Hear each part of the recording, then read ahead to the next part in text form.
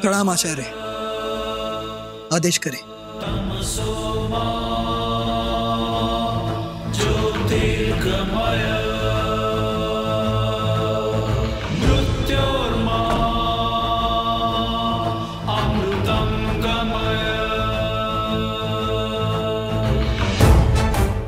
जो बात मैं तुमसे करने जा रहा हूँ उस पर समस्त भारतवर्ष का भविष्य टिका हुआ है। ऐसी क्या बात है आचार्य जिसके भनक आप किसी को नहीं लगने देना चाहते? तुम्हें नंदिनी से विवाह करना होगा चंद्र।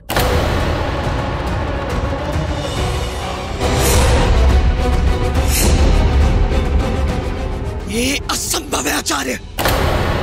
उसके पिता ने मेरे पिता का वध किया उसके पिता ने वर्षों तक मेरी माँ को बंदी बनाए रखा। उसके कारण मेरी बहन को आराम जीवन जीना पड़ा और आप चाहते हैं कि मैं उसकी पुत्री से विवाह करूँ? कहने के लिए क्षमा चाहूँगा आचार्य किंतु मैं आपकी आज्ञा का पालन नहीं कर सकता।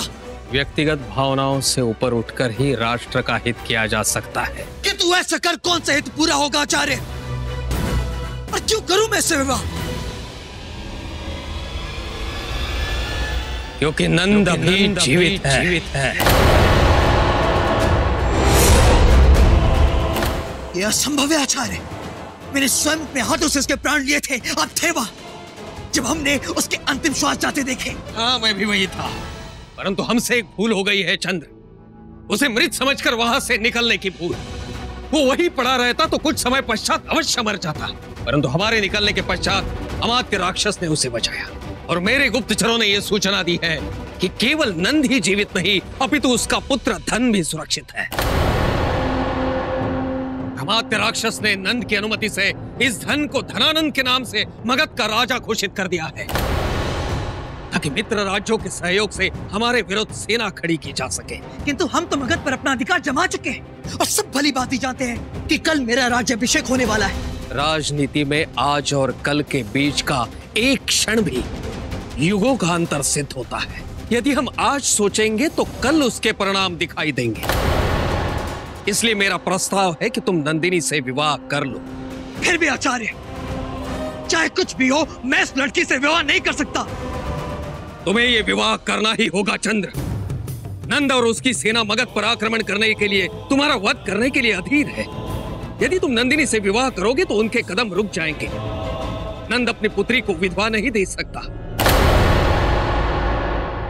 नंदिनी शस्त्र भी है और ढाल भी।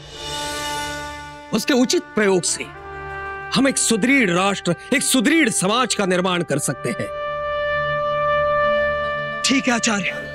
किंतु यदि मैं मान भी लेता हूँ तब भी मैं किसी से बलपूर्वक विवाह नहीं कर सकता। क्योंकि मैंने इस लड़की के भाइयों को उसके पिता को मारा है तो फिर वो क्यों मुझसे विवाह करने के लिए प्रस्तुत होगी? तुम एक विजेता हो चंद्र और वो एक पराजित राजा की पुत्री। विवाह करने ना करने का उसके पास ना कोई विकल्प है और ना ही अधिकार। निर्णय तुम्हें लेना है। तुमने उसे जीता है। अब यह तुम पर निर्भर है। यदि तुम उसे दासी या बंदी बनाकर रखते हो तो नंद के प्रतिशोध की अग्नि को और बढ़ाओगे। और यदि तुम उसे विवाहिता पत्नी बनाओगे तो नंद के पैरों में बेड़िया डालोगे।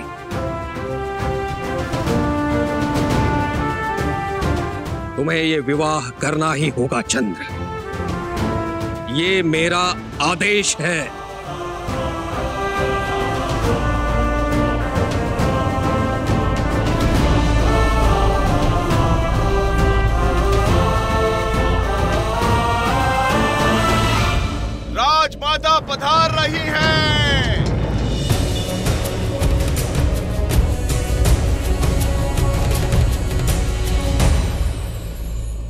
एक समय था जब हम मित्र थे।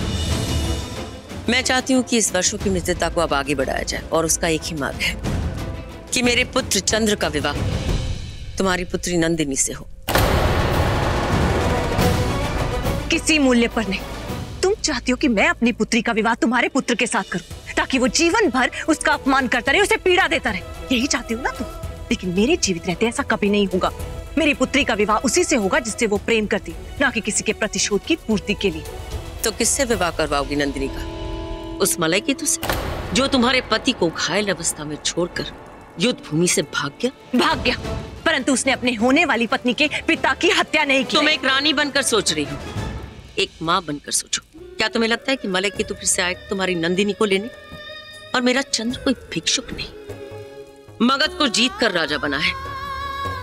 और तुम्हारी पुत्री का अस्तित्व अब एक राजकुमारी का नहीं, एक दासी का है।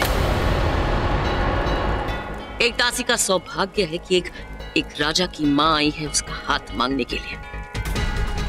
तुम लोग आज हो, परंतु कल नहीं। फिर एक समय था वंदिका जब तुम मेरी सखी थी। उसका सम्मान करते हुए मैं नहीं चाहती हूँ कि तुम्हारी पुत्री का अपमान हो। मैं तुम्हारे पास संबंध का प्रस्ताव नहीं, बल्कि एक अवसर लेकर आई हूँ। एक ऐसा अवसर जो तुम्हारी पुत्री को राजपद देगा। सम्मान के साथ जीने का अधिकार देगा। तुम भली भांति जानती हो, अवंतिका। एक रानी तब तक रानी रहती है जब तक वो इस महल में रहती है। एक बार सीमा लान दे तो एक दासी बन जाती है। मैं नंदिनी को यह अवसर देना चाहती हूँ क्योंकि मेरे साथ जो कुछ हुआ, उसमें उसका कोई दोष नहीं। मुझे जो कहना था मैंने कह दिया। अब आके तुम सोचो।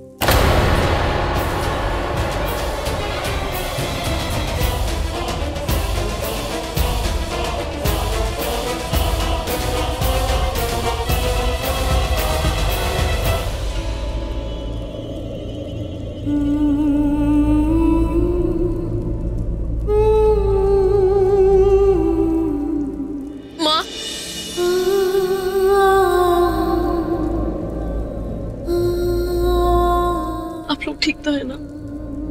माई चंद्रा की माता यहाँ क्यों आई थी? विवाह का प्रस्ताव लेकर। विवाह का प्रस्ताव? वो चाहती है कि चंद्र का विवाह तुम्हारे साथ हो।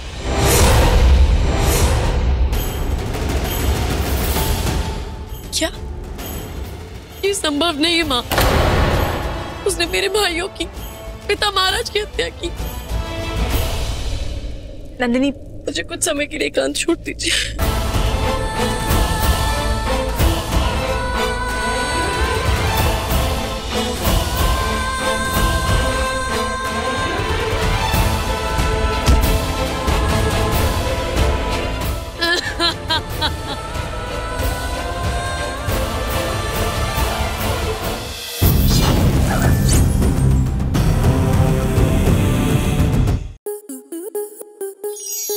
स्टार प्लस के यूट्यूब पेज पर आने के लिए आपका धन्यवाद।